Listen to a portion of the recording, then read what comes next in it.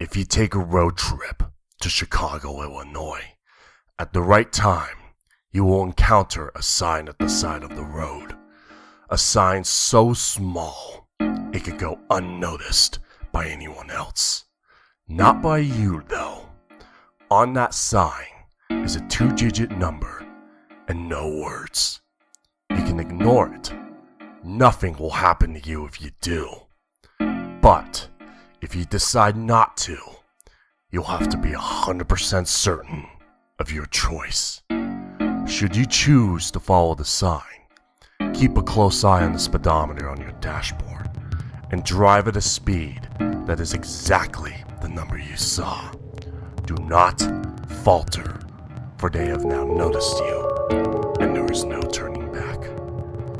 You will drive for a long time hours, maybe the entire day. First, will start to bother you. Any other physiological needs may cause you some discomfort, but none of them will be strong enough to force you to stray from your path. Your first, however, is the one feeling that will tell you when to pull over. When it becomes near unbearable, make a right and count to exactly the number that was on the sign before stopping the car and exiting immediately. If you encounter a house only a few feet away from where your car is parked, you better begin to say all the prayers you know. Your destiny is now sealed, and your only choice is to step into the house. The front door will be unlocked, and you will find yourself whatever place you used to call home as a child. All of the doors will be locked, except for the one to your old bedroom. Open it, get in, and lock it swiftly, for they are now behind that door, and it is the only thing standing between you and a terrible, terrible fate. Your childhood bedroom will appear to look the same as it had years ago at first glance. However, you will soon realize your bed looks like it has been slept on, and your toys are strewn about the floor in a very careless manner. Most of them appear to be broken. Find the toy that used to be your very favorite. It is now torn apart beyond repair. Amongst the remains of it, there is a note. If that note says, We propose a better way, count yourself the luckiest bastard alive. They have deemed you unworthy of their attention. You are now free to lie on your old bed and sleep until the sun rises. Then, you may exit the house through the same door that led you inside and be on your way back to Chicago. However, if the note says anything else, you will also proceed to lie on the bed as silently as you can. Do not dare to sleep and move as little as you can, no matter how long you stay there. Shout out as loudly as possible. I am nothing but the sum of those who came before. I know nothing and will remain this way until my dying day. At any moment, they will break into the room, whether you say it or not. If you do, however, they might be merciful and make your death a swift one. But there's another possibility. When you exit your car, you may find yourself at the border of a large, large river. You will not be able to see the other border. For all you know, you might be looking at the ocean itself. There will be a bridge exactly 12 feet away from where you are. Walk to it and stand before it without getting on the bridge. It is vital that, despite your thirst, you do not take one sip of the water on that river. If you do, the souls of those who have succumbed to the same urge will be more than happy to drag you to the bottom and turn you into one of them. Standing before the bridge, you will begin to experience flashbacks. Every wrong you've ever done will come crashing upon your memory. If the guilt doesn't drive you to madness, that is, count yourself lucky.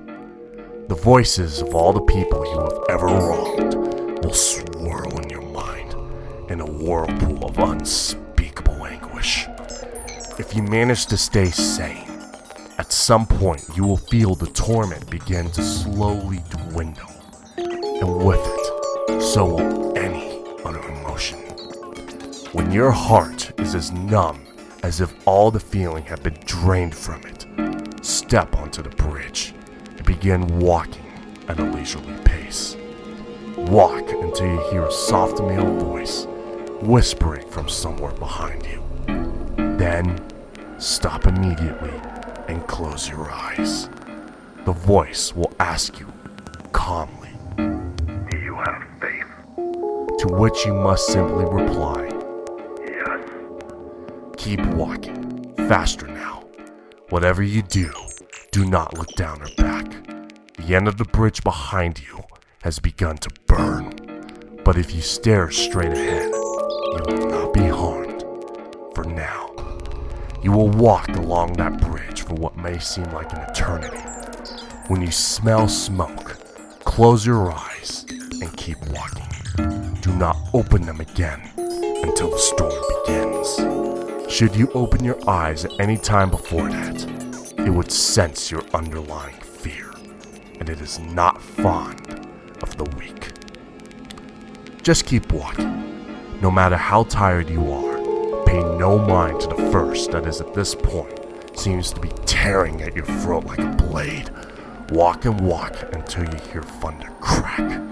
At that point, and only at that point, is it safe to stop and open your eyes. Rain will fall.